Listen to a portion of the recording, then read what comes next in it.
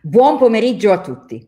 Sono Letizia Spanoli, fondatrice del Sentemente Modello.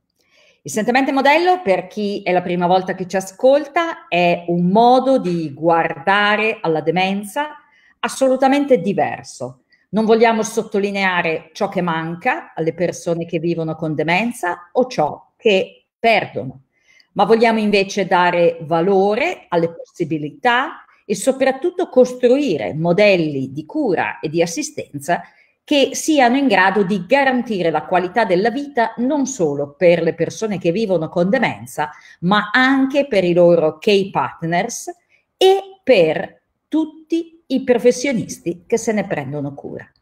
Perché Kate Partners, esattamente come ci ha insegnato Harry Urban.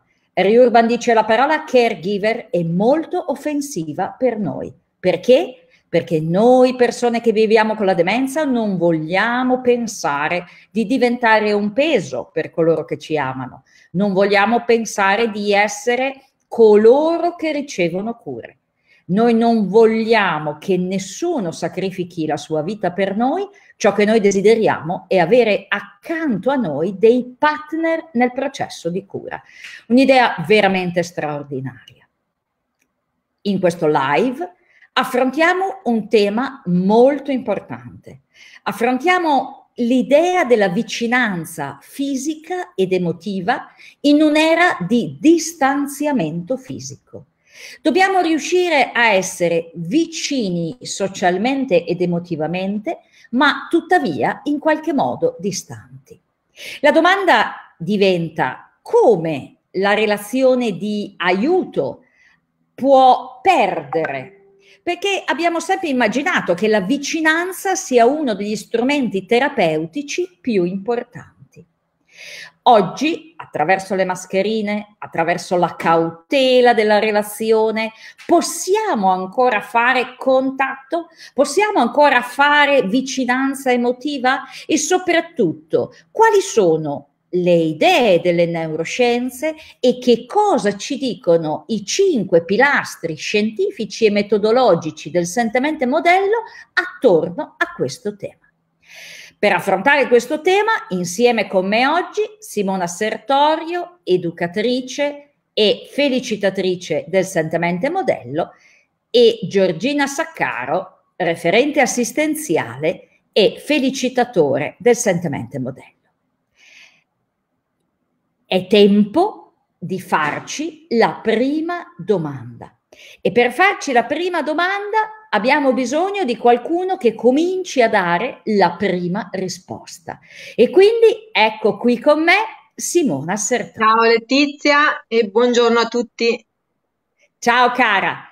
Allora, tu hai un grande compito oggi, quello di prenderci per mano accompagnarci nel magico mondo delle neuroscienze e farci scoprire strumenti di valore che riescano comunque a creare vicinanza. Quindi, sei pronta cara Simona? Certo, assolutamente. E allora via. Allora, innanzitutto eh, inquadriamo un po' il momento storico che stiamo vivendo. È un momento che eh, parlo da professionista della cura e mi rivolgo ai tanti professionisti della cura eh, che ci stanno ascoltando. È un momento eh, in cui il rischio che corriamo è quello di sentirci impotenti rispetto all'emergenza sanitaria che stiamo vivendo e rispetto all'esperienza che stiamo vivendo all'interno delle residenze eh, sanitarie assistenziali, quindi eh, del prenderci cura dei nostri anziani. Il rischio è di ehm, lasciarci travolgere da questo senso di impotenza, da queste emozioni depotenzianti che sono la paura, la preoccupazione, l'ansia, non solo rispetto al nostro lavoro, ma anche alle situazioni personali che stiamo vivendo in realtà eh, dobbiamo un po' spostare la nostra attenzione e eh, trovare un po' una via di mezzo tra quel senso di impotenza in cui rischiamo di affondare e il senso di onnipotenza. Noi non siamo in questo momento né impotenti né onnipotenti perché non possiamo controllare uh, quello che sta accadendo. Ma tra queste due sensazioni c'è di mezzo il campo della possibilità. E quello che voglio fare io oggi è quello proprio di darvi degli strumenti concreti per rendervi conto di come funzioniamo a livello proprio fisico, a livello mentale, in modo che eh, cresca la vostra consapevolezza rispetto alle possibilità che ci sono nel prenderci cura il meglio che possiamo in questo momento storico all'interno delle residenze per anziani. E vado subito al dunque. Eh, parliamo di, di quella meravigliosa eh, farmacia che noi siamo, che, la nostra, eh, che il nostro cervello è. Il nostro cervello ha un potenziale incredibile, che è quello di produrre delle sostanze che ci possono eh, eh, dare una sensazione di benessere. Queste sostanze eh, di cui parleremo oggi sono l'ossitocina, e la serotonina in particolare.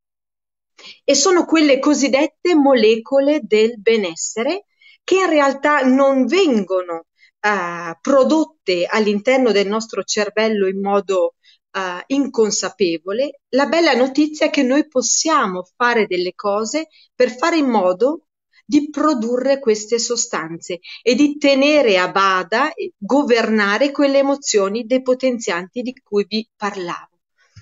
Innanzitutto eh, vi inquadro quali sono queste molecole del benessere. L'ossitocina è chiamata l'ormone dell'amore, l'ormone del benessere. Pensate che fino a qualche anno fa si pensava che questa molecola, questo ormone prodotto nell'ipotalamo riguardasse principalmente o quasi solo esclusivamente le donne in procinto di partorire perché era quell'ormone che consentiva le contrazioni uterine, che permetteva alla donna di, uh, di, di partorire, ed è quell'ormone che uh, nel momento in cui il parto è avvenuto consente alla mamma di creare quel legame uh, unico e così intenso con il neonato. In realtà le neuroscienze negli ultimi anni hanno riscontrato che l'ossitocina non è prodotta solo dalle partorienti, ma in realtà ciascuno di noi, donne, uomini, in qualsiasi uh, situazione possiamo produrre questa sostanza. E l'ossitocina è quella molecola che è capace di mettere a tacere l'amigdala. L'amigdala è quella porzione del nostro uh, cervello che entra in gioco nel momento in cui noi percepiamo un pericolo, che sia un pericolo reale che sia un pericolo uh, immaginario, che sia quindi un pensiero, uh, una preoccupazione, un, uno stato ansioso, ecco che nel nostro corpo uh, noi sperimentiamo lo stress. Lo stress non è altro che una reazione fisiologica eh, che, che, ci porta ad avere proprio delle, eh, delle modifiche a livello fisico. Quando noi siamo stressati, il nostro sistema cardiovascolare ne risente, il battito cardiaco accelera, la, la, pressione sanguigna aumenta, i muscoli si irrigidiscono. Tutte queste reazioni, l'ossitocina e la serotonina sono in grado di, uh, di metterle a tacere e di farci sperimentare invece che una condizione di stress, di, diciamo, di attivare il sistema nervoso autonomo parasimpatico, che è proprio l'antagonista del sistema nervoso autonomo simpatico, che è quello del, del circuito dello stress. La bella notizia, come vi dicevo, è che questa cosa può accadere in modo spontaneo, ma possiamo anche eh, attraverso il nostro modo di pensare, il nostro modo di comportarci, possiamo fare in modo di attivare la produzione di queste sostanze. E in che modo? Quindi eh, l'esperienza, quello che, che, voglio darvi oggi sono proprio degli strumenti molto eh, concreti. In particolare vorrei focalizzare la vostra attenzione su uno strumento che stiamo utilizzando moltissimo all'interno delle residenze per anziani, che è la videochiamata. la stanno utilizzando molto anche negli ospedali, che è quello strumento tecnologico che ci permette di mantenere unite le famiglie. Si parlava appunto di distanziamento sociale, ma altro è eh, il distanziamento emotivo. Grazie alla videochiamata noi siamo in grado di tenere insieme le famiglie.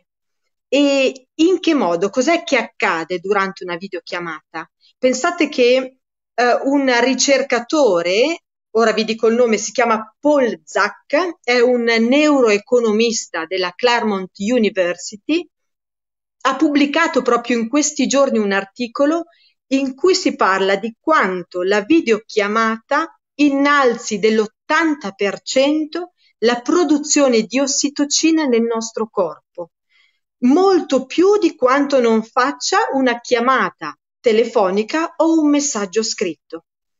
E che cosa accade? Perché questa sostanziale differenza tra una videochiamata e una telefonata? Semplicemente perché attraverso la videochiamata le persone possono incontrarsi attraverso lo sguardo. Poi nell'intervento che farà Letizia Spanoli successivamente entrerà nel merito del potere dello sguardo, ma è proprio quello che fa la differenza tra una videochiamata e una telefonata, perché l'interruttore più potente per fare in modo che si inneschi nel nostro corpo la produzione di ossitocina e di serotonina è proprio il contatto visivo. E, e c'è un altro aspetto estremamente interessante di cui vi voglio parlare, citando un ricercatore eh, italiano di grande spessore, lui si chiama Fabrizio Benedetti, ha scritto un meraviglioso libro dal titolo La speranza è un farmaco e lui ha proprio riscontrato, andando ad indagare eh, principalmente nella relazione tra medico e paziente. Lui ha eh, riscontrato attraverso eh, ricerche molto dettagliate con gli strumenti delle neuroscienze, ha riscontrato quanto l'utilizzo di parole che infondono speranza e quanto l'atteggiamento empatico, la relazione empatica con il paziente, immaginiamo con l'anziano, con il familiare, sia in grado di andare a colpire quei bersagli nel nostro cervello proprio come delle frecce eh, quei recettori nel cervello che consentono la produzione di endorfine. Le endorfine sono note perché è un antidolorifico naturale prodotto dal nostro corpo e intervengono anche sul tono dell'umore e la produzione di serotonina. Quindi utilizzando parole eh, che infondono speranza. E mi interessava in modo particolare questa ricerca perché non solo per quanto riguarda la, sper- la speranza intanto è eh, l'aspettativa che qualcosa di bello accadrà. E rispetto alla videochiamata, l'aspetto interessante è proprio eh, l'attesa della videochiamata, non solo il momento magico dell'incontro tra l'anziano e il suo familiare, ma è il programmare una videochiamata e attendere quel momento. Ecco che già in quell'arco di tempo il nostro corpo produce una quantità importante sostanziale di ossitocina. Quella è proprio la, la speranza, l'attesa che accada qualcosa di bello da lì a poco. Quindi il compito, io parlo soprattutto dal punto di vista eh, di un educatore in RSA, ma anche di un coordinatore, di chi ha la responsabilità di utilizzare il mezzo della videochiamata per tenere insieme le, le famiglie, per tenere il, la relazione tra il familiare e il proprio caro. Quindi mi sono chiesta come fare in modo che ehm, eh, avvenga la produzione di ossitocina e di serotonina eh, nella programmazione di una videochiamata. È un aspetto eh, fondamentale che va curato sia nella relazione con il familiare, sia nella relazione con l'anziano, perché il rischio è di fare la videochiamata eh, un po' in modo estemporaneo, di eh, fare un elenco di videochiamate che devo fare quel giorno e di mettere in contatto le famiglie in modo poco intenzionale, in modo frettoloso, per, per togliermi un po' il pensiero, per dire ok, quest- anche questa cosa l'ho fatta. In realtà a noi insentemente non interessa il che cosa faccio, ma il come lo faccio. Quindi avere cura di programmare e di eh, fare in modo che il momento della videochiamata sia veramente un momento denso di emozioni positive per il familiare e per l'anziano necessita di questo intervento preliminare. Quindi con, con il familiare, eh, un aspetto che secondo me eh, non, non, lo stiamo curando eh, a dovere, ma che è importante fare, è eh, mettere il familiare anche con una telefonata preventiva, creare le condizioni perché avvenga eh, questa videochiamata nel migliore dei modi. Quindi innanzitutto io devo avere ehm, la certezza che il familiare sia al corrente delle condizioni di salute del proprio caro. Io non devo arrivare al momento della videochiamata e eh, avere lì dall'altra parte del telefono un familiare preoccupato, eh, preoccupato di sapere come sta il proprio caro, preoccupato di raccogliere informazioni eh, cliniche. Io devo fare in modo, e questo ovviamente con la collaborazione con il medico, fare in modo che il familiare sia già tranquillo, sereno da quel punto di vista, in modo che tutta l'attenzione sia riservata alla relazione con il suo caro. E poi un altro aspetto importante come professionista della cura è eh, chiedere al familiare lui come sta, accogliere il suo sentire, dare spazio ascoltandolo eh, attraverso il silenzio, attraverso delle pause ponderate, attraverso la massima disponibilità e apertura da parte mia, fare in modo che lui esprima il suo sentire. E in questo modo io faccio in modo, proprio dando riconoscimento, ascolto, con parole gentili, posso fare in modo che il familiare, già da quella telefonata preliminare, eh, produca ossitocina e l'ossitocina è l'ormone proprio delle relazioni, del legame e che si rinsaldi la fiducia di quel familiare con me, professionista della cura. Il passaggio successivo è quello di concordare insieme al familiare che cosa vogliamo far accadere in quella videochiamata. Uh, decidere insieme quali strumenti utilizzare, quali persone uh, mettere in contatto con l'anziano. Se magari c'è un, un cagnolino, c'è un gattino in casa al quale magari l'anziano era affezionato, legato, perché non decidere prima di fare in modo che il, il proprio caro riveda eh, quell'animale domestico? O che incontri attraverso la videochiamata un pronipotino, magari come mi è successo appena nato, addirittura eh, poche ore dopo il parto ha potuto vedere il pronipote neonato attraverso una videochiamata. In realtà si stanno aprendo delle possibilità incredibili attraverso questo strumento che, che prima neanche prendevamo in considerazione. Il fatto di poter rivedere persone eh, che prima in realtà non andavano a far visita all'anziano perché magari abitavano lontane, perché magari anziane. La videochiamata ci sta dando veramente delle, degli, delle possibilità, sta aprendo delle possibilità incredibili.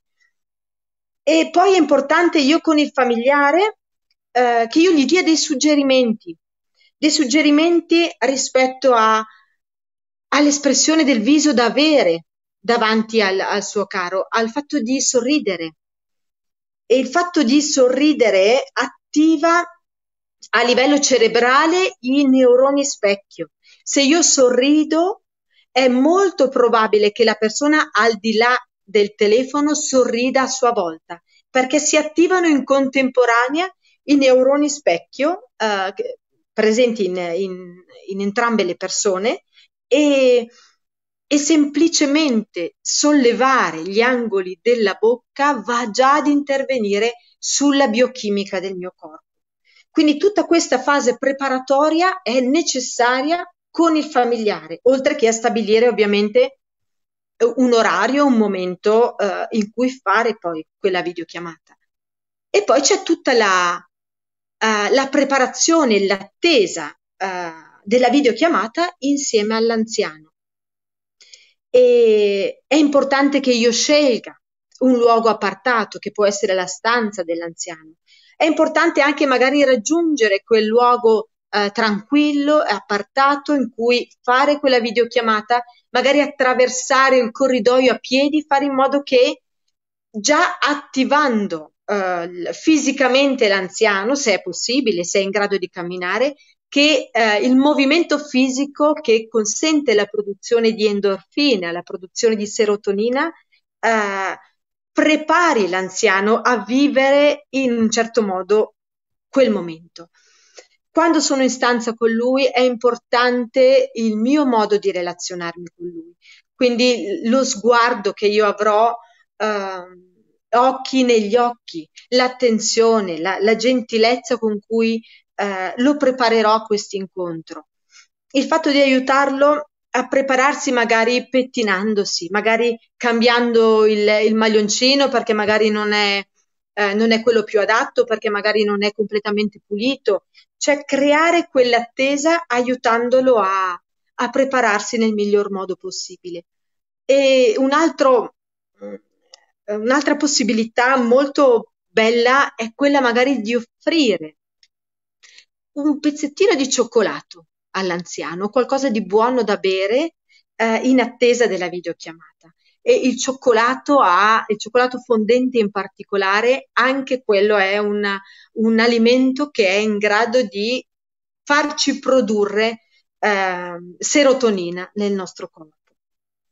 E poi è importante, eh, lo vedo nel, nella quotidianità, è importante ricordare all'anziano il motivo per cui stiamo facendo quella videochiamata, il motivo per cui il suo caro in questi giorni non può venirlo a trovare, perché da una volta all'altra eh, tanti di loro dimenticano il perché non vedono il proprio caro. Quindi ricordarlo e rimarcare il fatto che il loro familiare è eh, ha nostalgia di lui, che gli manca, che gli vuole bene, che ora, in questo momento, il mezzo che abbiamo a disposizione, che è un mezzo importante, è quello del, del telefono, usato in questo modo.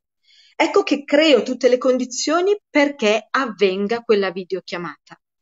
E se io avrò avuto cura e premura di fare in modo di, eh, di costruire questo momento, eh, va da sé che anche la mia soddisfazione, la mia gratific- gratificazione come professionista della cura, la certezza di aver fatto del mio meglio e tutto il possibile perché quell'incontro avvenisse eh, nel miglior modo possibile e perché ehm, entrambi, sia il familiare sia l'anziano, possano fare un'esperienza di benessere non scontata, da quella videochiamata, ecco che quello va a stimolare anche in me, professionista della cura, quella, quella farmacia naturale che, che, abbiamo dentro di noi. Lì è la, eh, quel bottino emotivo che io mi porto a casa ogni giorno. Quando esco dal, dal lavoro in RSA e dico ho fatto del mio meglio, ho fatto del mio meglio per curare i dettagli, per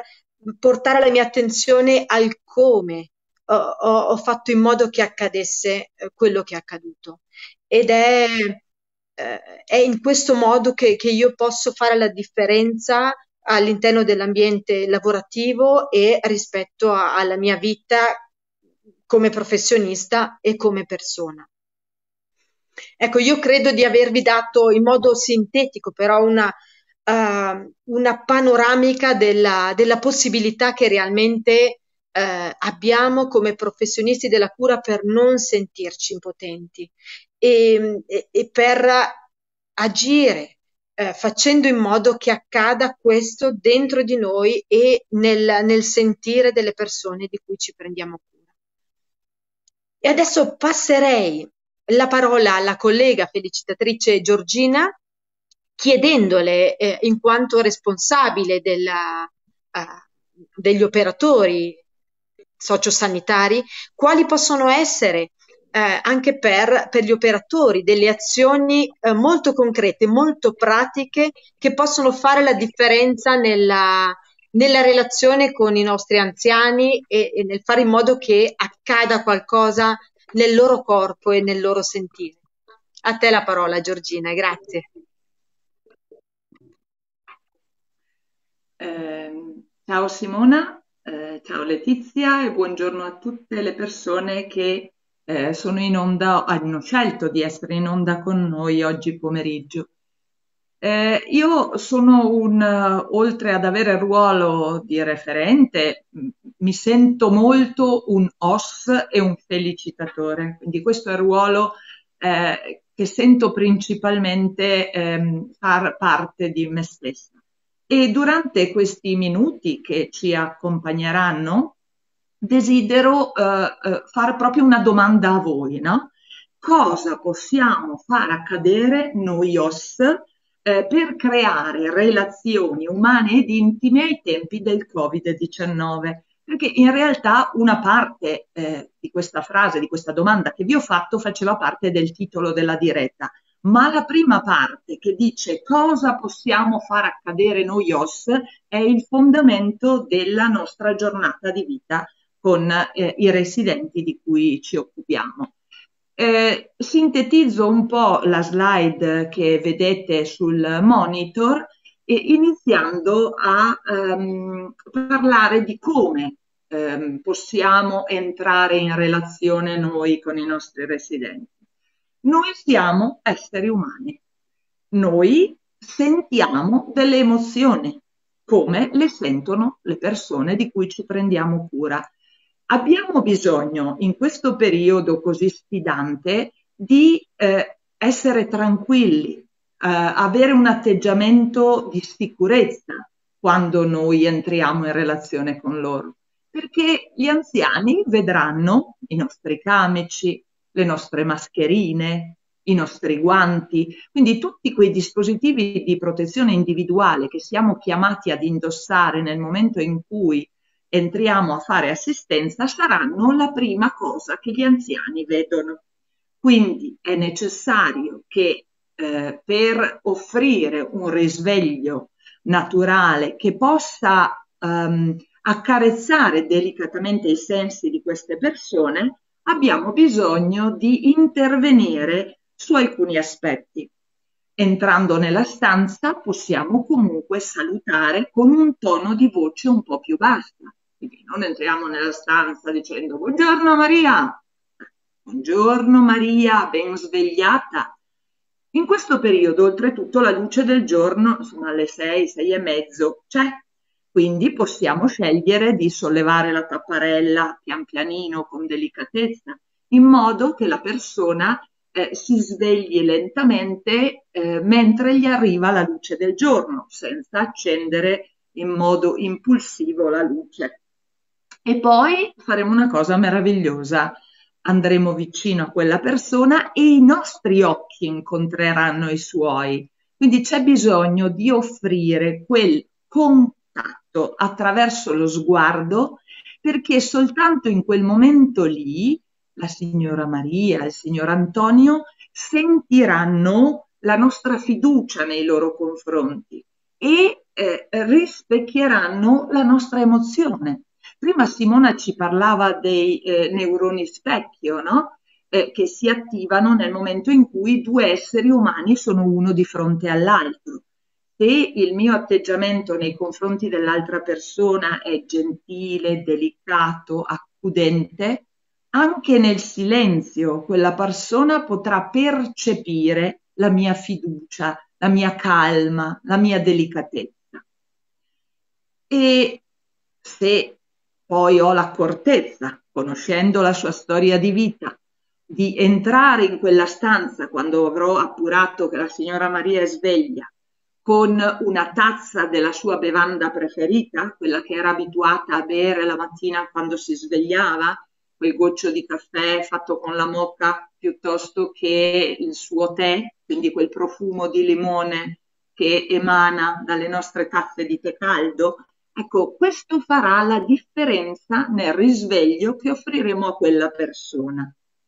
Poi eh, possiamo sicuramente eh, mettere in atto eh, tutte quelle procedure, quei protocolli che siamo chiamati ad utilizzare ehm, durante questo periodo per proteggere noi e le persone di cui ci prendiamo cura, ma eh, possiamo sempre fare la differenza attraverso il come noi offriamo quell'igiene intima, quella doccia particolare, quell'aiuto nella vestizione. È il come, l'ha ribadito Simona, eh, credo poi Letizia farà un passaggio ancora su questo, ma è lì che noi os, ogni giorno e in ogni istante possiamo fare la differenza, con il come.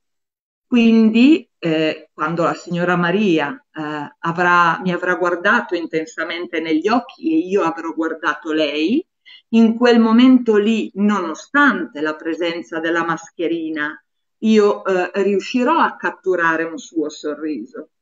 E successivamente arriveranno le mie parole che dirò buongiorno Maria ben svegliata e in un terzo momento arriverà la mia azione. Eh, ho bisogno appunto di, mh, mm, eh, mi viene da dire, di creare quella relazione di fiducia che si può creare soltanto attraverso lo sguardo.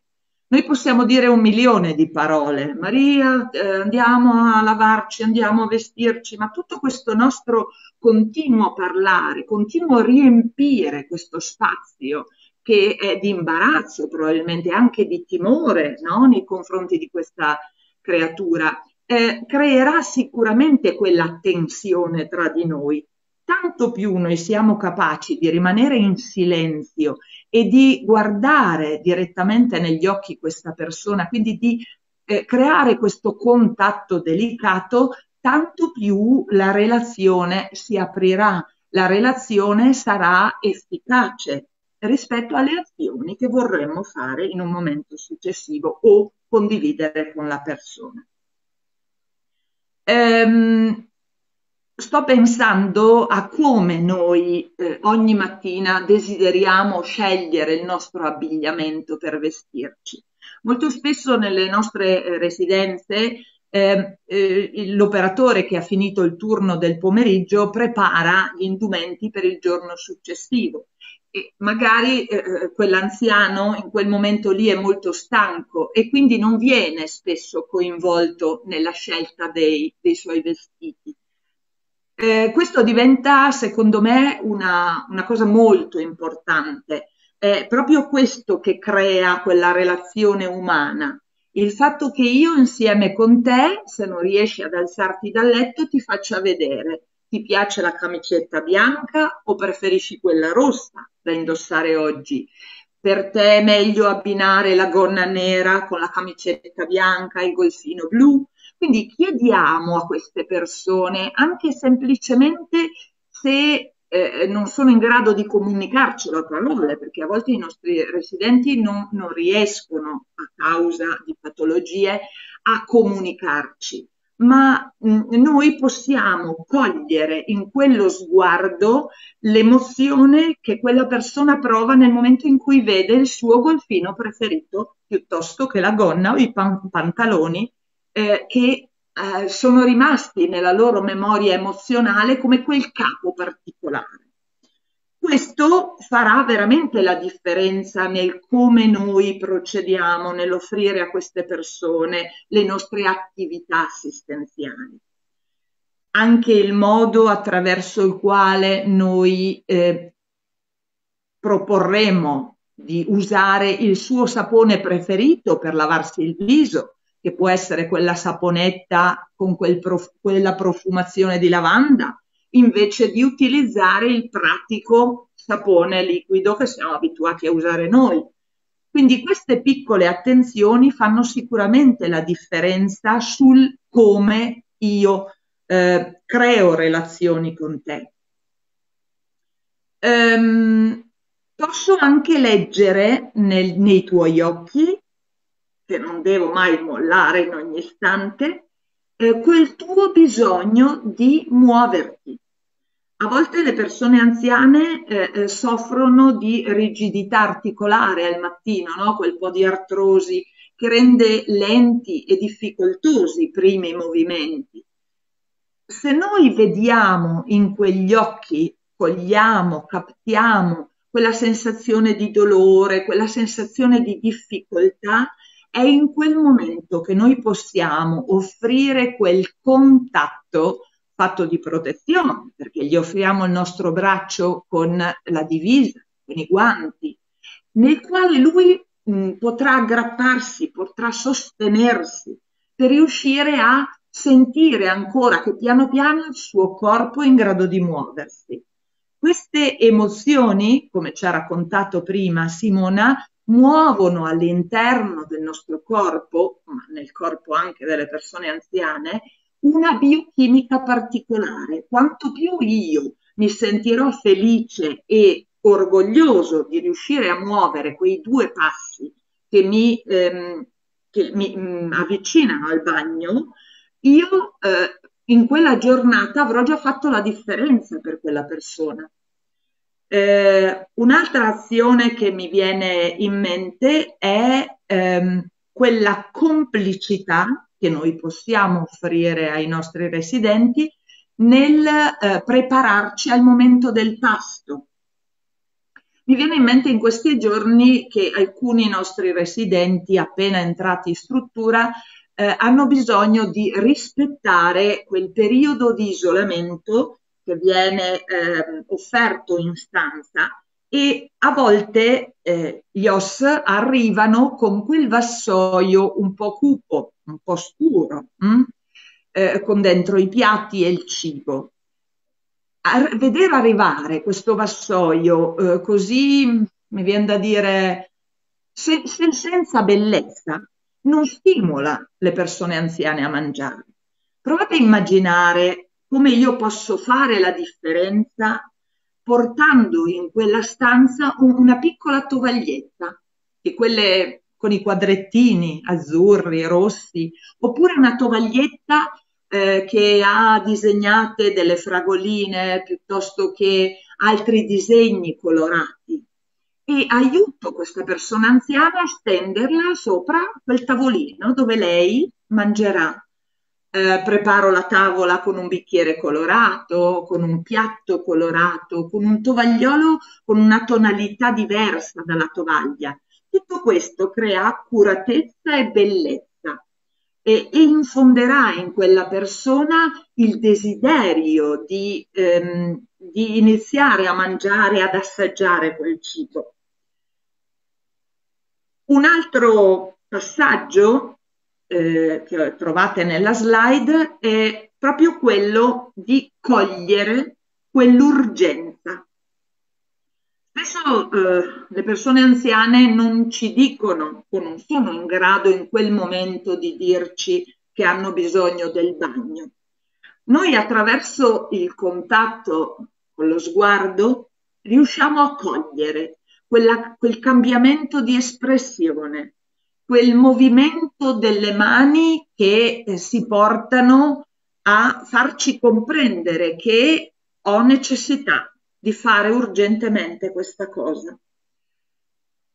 Accompagnando i nostri residenti eh, possiamo scegliere di offrire il nostro aiuto dicendo Maria hai bisogno che mi fermo qui in bagno con, con te ad aiutarti ma dall'altra parte possiamo cogliere quel bisogno eh, di riservatezza, quel desiderio di, di, stare da solo.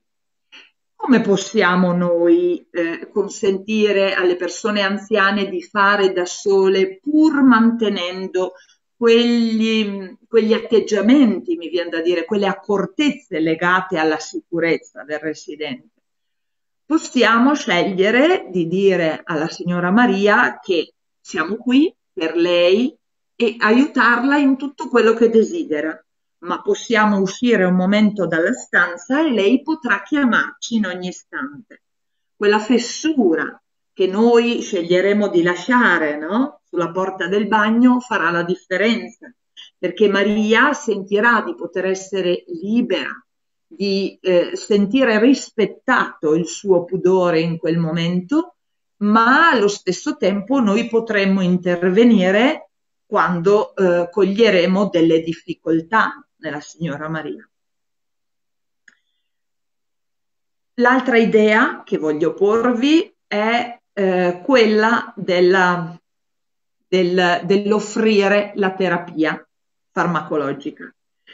In alcune strutture ehm, sono gli OS che offrono ai residenti la terapia farmacologica preparata dentro un blister con l'orario di somministrazione e il nome della persona. Noi eh, possiamo scegliere di ehm, nascondere, io ho messo tra virgolette questa parola, nel cibo quel farmaco eh, senza dire niente alla persona e lasciare che gli, gli anziani mangino e quindi assumono anche la terapia. Ma vi assicuro che trovare un qualche cosa che masticato eh, dà una sensazione di amaro in bocca è qualcosa di incredibile. Se invece io scelgo di sedermi vicino a te e di coinvolgerti nella tua salute, nonostante tu possa soffrire di demenza, ti dirò che il medico ha preparato per te quel farmaco che ti può alleviare la sofferenza di quel dolore che alla mattina ti angustia alle ginocchia, oppure eh, dire che l'infermiera mi ha dato quella compressa perché può far bene a quella tua patologia particolare. Vi renderete conto che la persona anziana prende quel farmaco e lo assume senza difficoltà. Se poi siete vicino voi, che avrete creato quella relazione speciale perché ognuno di noi può creare quella relazione speciale attraverso quel contatto di sguardi, quel, quel senso di fiducia. Eh, prima eh, Simona parlava di, di, speranza, ma credo che anche eh, l'emozione della fiducia, della, della vicinanza, eh, crea queste, produce queste sostanze meravigliose che possono fare la differenza in, un, in una relazione con una persona anziana. E poi, per ultimo, l'ultimo punto, eh, io ho riassunto alcuni strumenti che credo ogni OS possa avere nella sua cassetta degli attrezzi e che sono gli sguardi, i gesti che abbiamo detto eh, possono essere eh, delicati, eh, gentili, parole con una tonalità ehm, particolare, con una cadenza che dà, che dà colore alla frase che dico. Anche proprio le parole stesse che io sceglierò di utilizzare faranno la differenza. Eviterò di parlare con te di ehm, di, mm, di, isolamento, ecco non mi veniva scusate la parola, di isolamento, eviterò di parlare con te di isolamento, però in ogni istante ti ricorderò il motivo per cui noi indossiamo una mascherina. E quando eh, tu a un certo punto del turno vedrai che noi siamo sudati, che facciamo difficoltà a respirare, eh, ci offrirai una meravigliosa carezza, perché quello che è accaduto a me i giorni scorsi, durante una doccia con una persona anziana, eh, lei si è avvicinata, mi ha fatto una carezza al viso e mi ha detto come siete bravi a subire questo caldo sotto le mascherine. Grazie perché lo fate per noi. Quindi noi viviamo anche questa fantastica emozione eh, di rimando che si chiama gratitudine. La gratitudine è una, un'altra grande emozione che noi operatori eh, possiamo eh, offrire agli anziani, possiamo ringraziarli per tutto quello che ci aiutano a fare durante le attività di vita quotidiana insieme.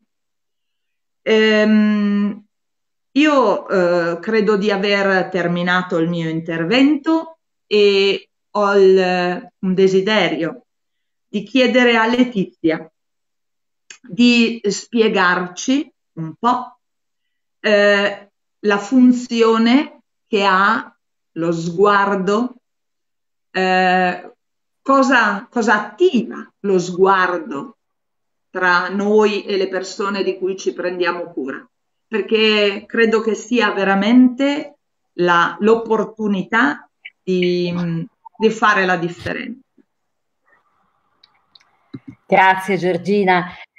Sì, ci aspetta questo tema fantastico eh, dello sguardo, perché è proprio nel momento in cui eh, siamo nascosti da quelle mascherine che i nostri occhi escono, brillano e sono fari di luce all'interno di giornate così complesse per gli anziani, ma anche così complesse per i nostri colleghi.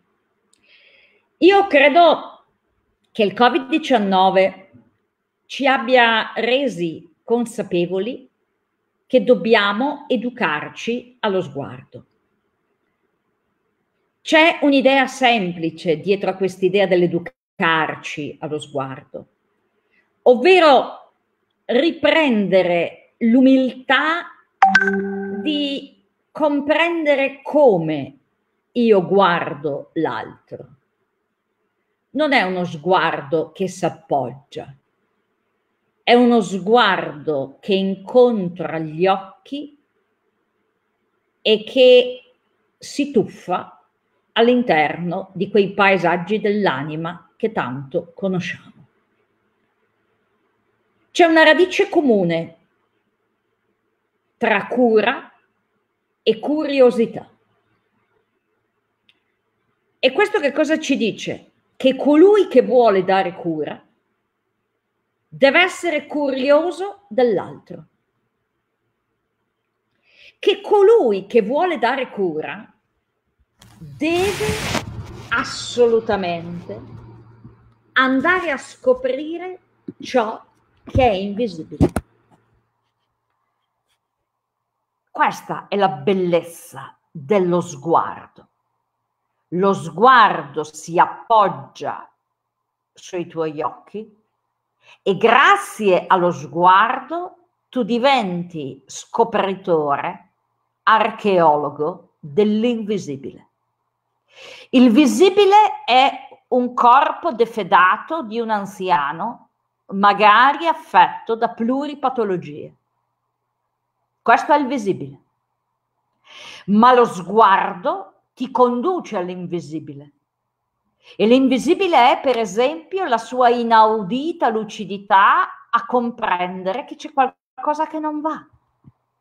La sua inaudita lucidità di rendersi conto che tu sei stanco o perché no, la sua inaudita lucidità di rendersi conto che tu hai paura di infettarti. Danilo Dolci, grande educatore, diceva ciascuno cresce solo se sognato. Mi perdonerà Danilo Dolci se cambio questa frase e la faccio diventare ciascuno cresce solo se guardato. E allora il primo punto è cogliere l'oltre. Devi diventare capace attraverso lo sguardo di guardare oltre, di vedere oltre, di cogliere quell'invisibile che è parte della costruzione della relazione terapeutica di aiuto. E che mai come ora, ai tempi del Covid-19, è quell'invisibile che diventa fondamenta sulle quali costruire la relazione con l'altro.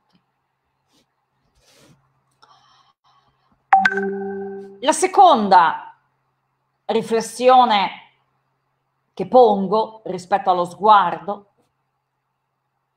è, è questa. Siamo stati presentati come i professionisti dei gesti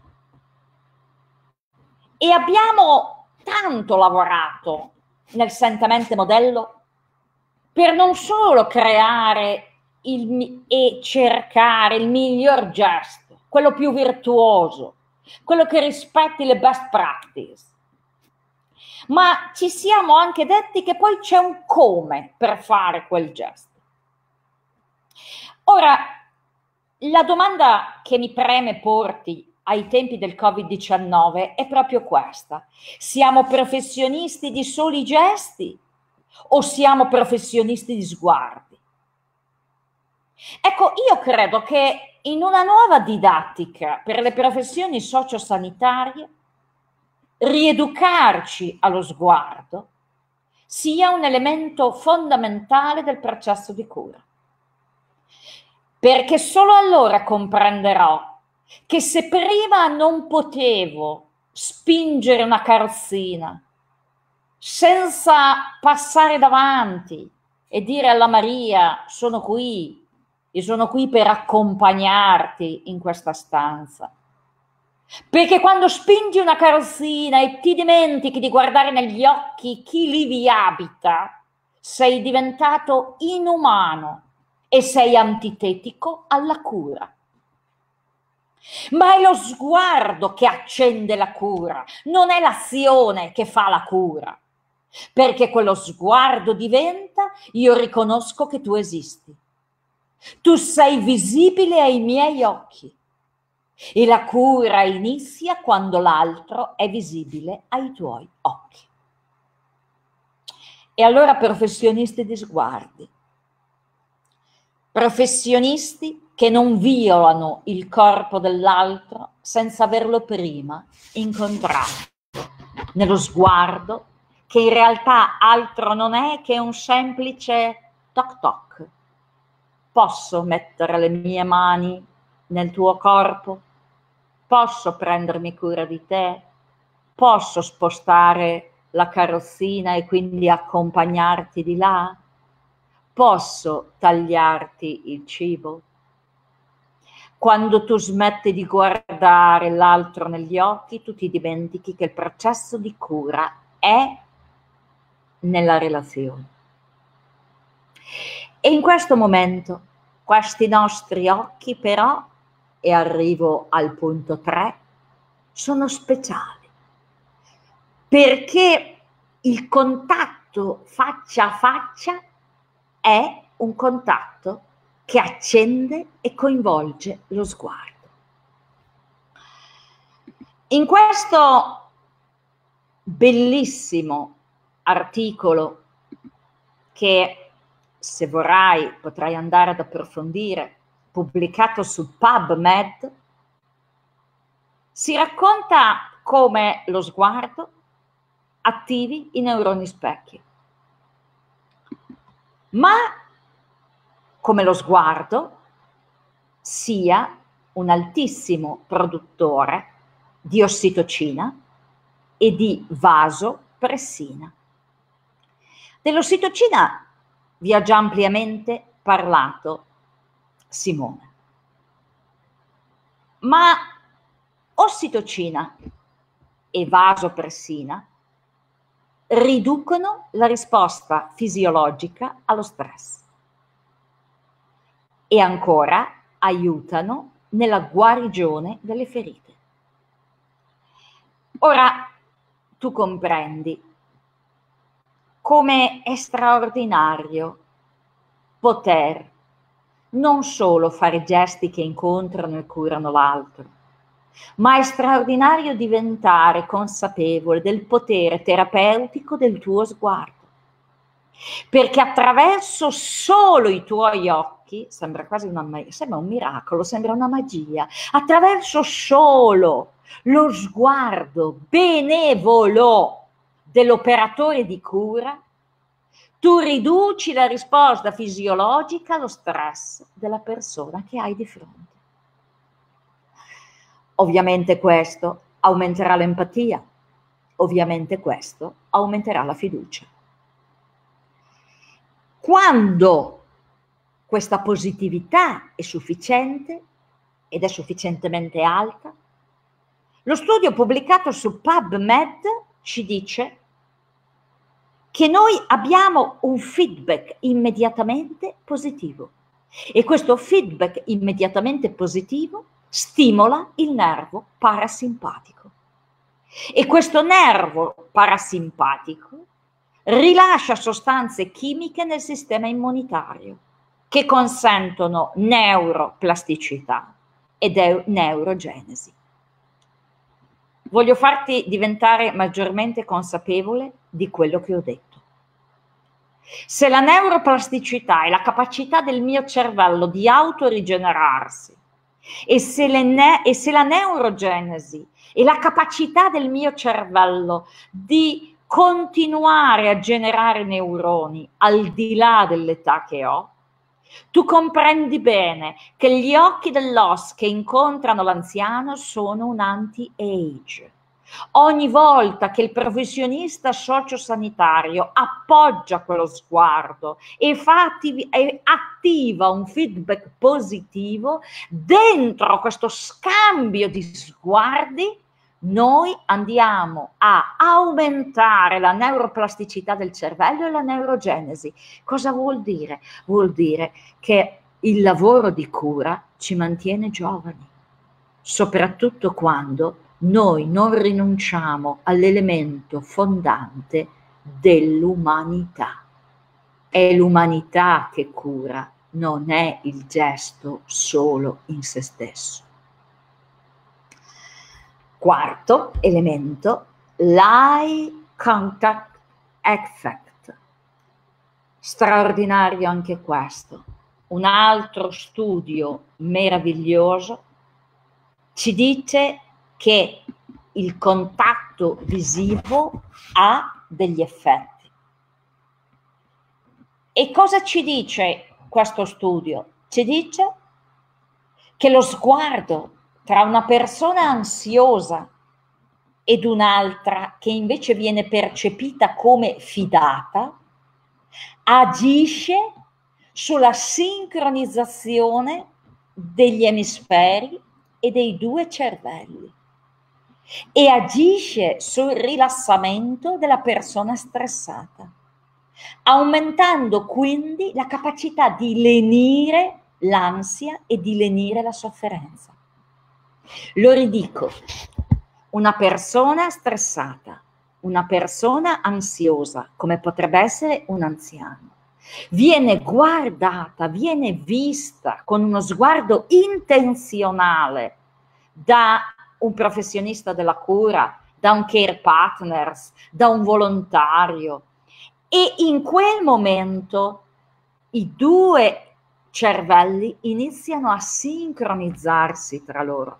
E questo dà come risposta una risposta positiva che va sono le 15.30 la sensazione di ansia.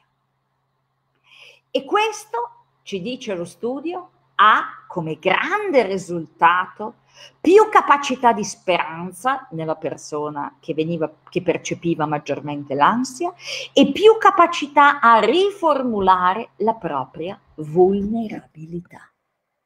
Quindi, cogliere l'oltre, imparare che noi siamo professioni di sguardi, avere chiaro che il contatto faccia a faccia attiva non solo ossitocina, ma attiva anche vasopressina con dei grandi risultati rispetto alla serenità, ma anche alla salute. Diventare consapevoli che attraverso l'eye contact effect io aumento la neuroplasticità e la neurogenesi e quindi creo questa sincronizzazione e porto l'altro in una situazione di maggiore serenità, bene, tutto questo oggi è stato riscoperto ai tempi del Covid-19, dove le persone non possono vedere i nostri sorrisi, dove le persone forse fanno persino fatica a capire cosa diciamo attraverso le mascherine. Ma attraverso i nostri occhi noi abbiamo una grande, grande possibilità di stare in una relazione positiva con l'altro. Quando toglieremo le mascherine, non dimentichiamo del grande effetto che può avere lo sguardo. Perché lo sguardo dice io ti vedo, tu esisti ai miei occhi. E allora, miei cari, andiamo piano piano verso le conclusioni. E per andare verso le conclusioni, io voglio chiamare qui con me Simona e far e chiedo a Simona Simona tu hai pensato a un libro da consigliare e quindi eccolo qua il tuo libro è sempre un buon giorno. Allora una frase finale accendi il microfono grazie. Una frase finale e ehm, perché consigli questo libro? Eh, rispetto alla, alla conclusione di, di questo eh, live, eh, mi viene da dire che proprio grazie a tutto quello che stiamo vivendo in questo periodo di sfida, abbiamo scelto di chiamarlo uh, periodo di sfida e non di emergenza e non di guerra, e stiamo riscoprendo, appunto, come dicevi tu, uh, un'umanità diversa, proprio grazie alla fragilità che stiamo vivendo. Perché se prima potevamo sentirci sicuri, forti, eh, quasi onnipotenti, eh, ora come professionisti, ma in realtà come, come persone, ci stiamo scoprendo molto più fragili, ma la fragilità in senso positivo, una fragilità che ci permette, rispetto alle relazioni di cura, di non guardare più l'anziano dall'alto verso il basso, ma di inchinarci davanti a lui e di metterci un po' di più alla pari, perché forse quello che stiamo vivendo noi, eh, l'anziano l'ha già vissuto a suo tempo e ancora di più eh, i nostri anziani sono dei maestri di vita ora. Quindi abbassandoci e rendendo un po' più simmetrica la relazione con loro, ecco che i nostri sguardi davvero si possono incontrare. E rispetto al libro che voglio consigliare è sicuramente è sempre un buon giorno. È un libro che, uh, che è ricco di spunti rispetto alle neuroscienze, rispetto ai neurotrasmettitori, a, agli ormoni di cui abbiamo parlato, gli ormoni del benessere, ed è un libro che dà dei suggerimenti pratici, fa fare esperienza per allenare eh, la, per allenarci al benessere e alla felicità. Perché felicità e benessere non sono un punto di arrivo, qualche cosa che, eh, che, che vediamo eh, in lontananza a cui aspiriamo, ma è una scelta, una scelta eh, quotidiana e un allenamento costante per mm, scegliere i pensieri, scegliere le parole, scegliere le azioni che realmente fanno bene a noi e fanno bene alle persone di cui ci prendiamo cura e che amiamo. Grazie Simona. Giorgina, ecco di qua, ti aspetto. Tu hai scelto un libro invece ancora importantissimo che è Giù le mani dai vecchi. Sì, eh, allora... Per sintetizzare e una frase per il libro.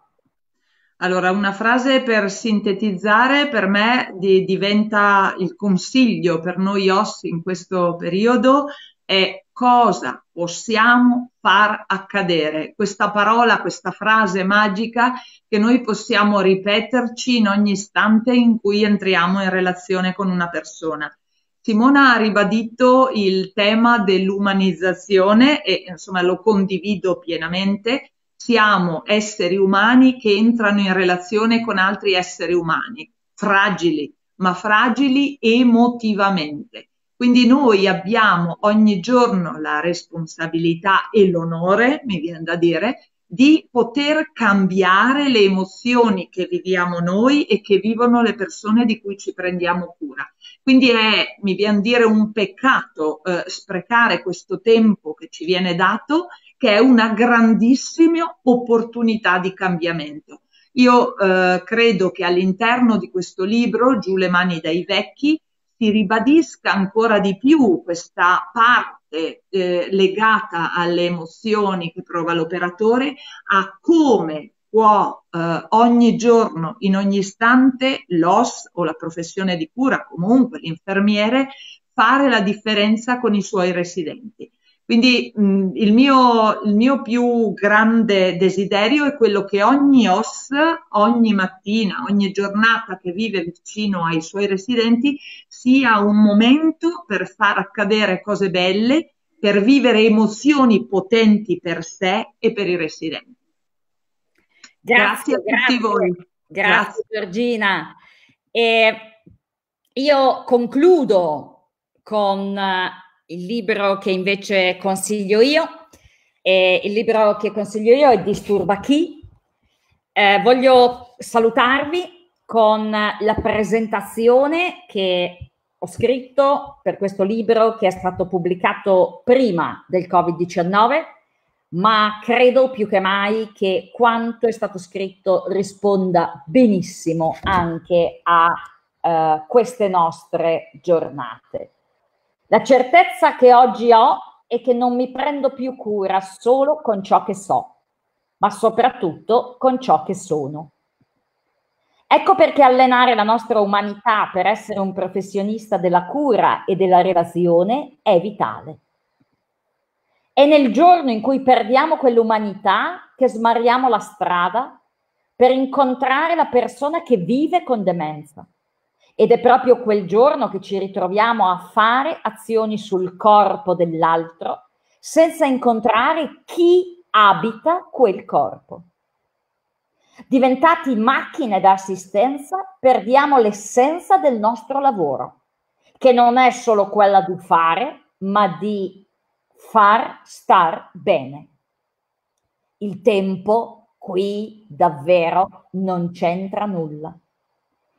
Il tema è come non smarrire l'essenza della qualità delle cure e della vita, per rincorrere invece quella di un fare disumanizzante e crudele per la persona fragile. Vi ringrazio, siete stati tantissimi collegati fino ad ora. Come sapete, come felicitatori del Sentamente Modello abbiamo scelto di fare questi momenti di formazione e di webinar assolutamente in modo gratuito affinché tutti voi possiate sviluppare sempre più competenze per far fronte a questo periodo così sfidante. Tuttavia, non vi nascondiamo che saremmo felici e onorati se voleste comprare i libri che vi abbiamo suggerito, perché non solo sostengono il lavoro che il Sentamente Progetto sta facendo in questo momento in tutto il paese, ma anche perché diventeranno insostituibili compagni di viaggio per la tua sempre, sempre maggiore umanità in azione. Vi abbracciamo vi aspettiamo sabato 2 maggio alle 17 per un incontro che ha un po' meno a che fare con il mondo degli anziani, ma che va a sviluppare quell'intelligenza emozionale fondamentale per il professionista della cura e della relazione. Sabato cambieremo pagina e ci incontrerai nella pagina ufficiale di Giorni Felici. Ciao a tutti.